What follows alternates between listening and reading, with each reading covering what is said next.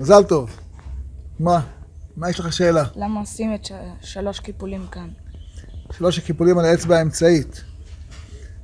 אתה זוכר את הפסוקים שאומרים כשהם עושים את השלוש עיגולים סביב האצבע האמצעית? ורסתיך. וארסתיך לי לעולם, נכון? מה זה וארסתיך? ארסתיך זה כמו טבעת של קידושין, נכון?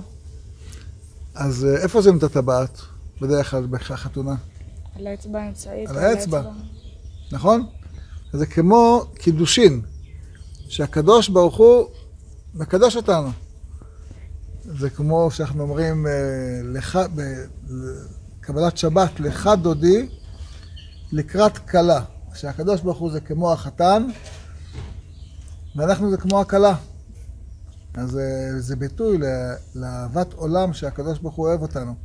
כשאתה מניח תפילין, אתה צריך להרגיש את אהבת העולם של הקדוש ברוך הוא אליך, אלינו, אל כל עם ישראל. אה, ויהי רצון שבאמת תרגיש את, ה, את האהבה הזאת. יש, כתוב על דוד המלך שהוא היה אומר, אם לא שיוויתי ודוממתי נפשי, כגמול עלי אמו, כגמול עלי נפשי.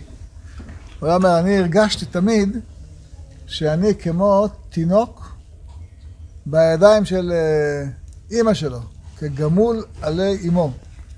כך הרגשתי. הייתי כל הזמן עוצם את העיניים ומדמה בנפשי את החיבוק הגדול שהקדוש ברוך הוא נותן לנו.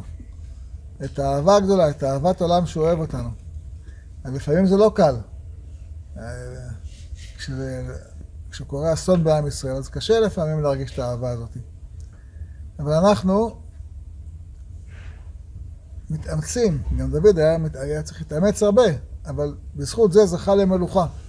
יהיה רצון שנזכה למלכות בדוד, מתוך ה- הרגשת האהבה הגדולה הזאת. מזל טוב.